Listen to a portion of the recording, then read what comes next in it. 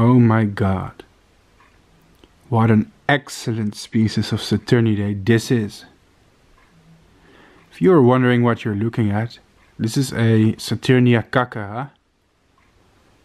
And it comes from Asia, where it lives in countries such as Nepal, Bhutan, parts of China, and I even think India and Myanmar. Or is that one called Burma nowadays?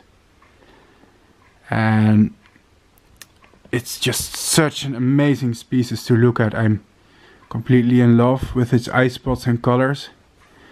Um, they are somewhat hard to get in captivity because they come from countries where not many people are collecting the livestock. And as you can see, it's playing dead now. This is what they do. If you touch them, they'll flip on their back. And I think it's in fact even displaying the eye spots on the underside. Because it seems to actually pose like this with the eye spots pointed upwards. If you touch it again, yep, there it goes. The expected behavior. Now I could probably flip it back by touching it. Yep, but this is a game that can become tiresome. Either way, just look at those amazing eye spots. Now, I don't know if this piece is difficult to read because it's the first time in my life that I'm ever seeing a Saturnia cachara.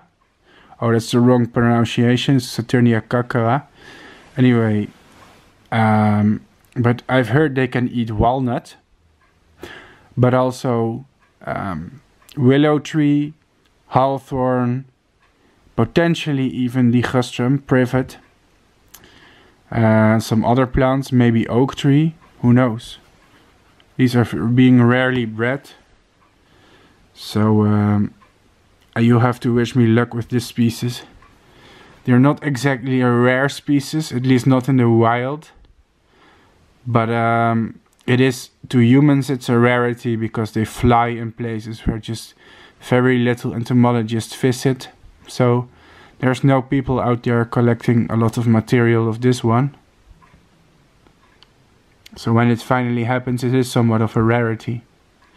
And I'm kind of loving these eye spots because you know half of these eye spots have a different color it looks like it's like they're half shaded by something I don't know, I really like the effect. It's hard to describe in English. If you have a better term for it, comment it below.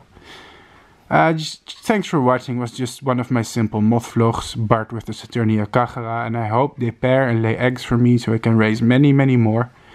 So um, I'm gonna finish this video with just a close-up of its eye spots. Bye bye.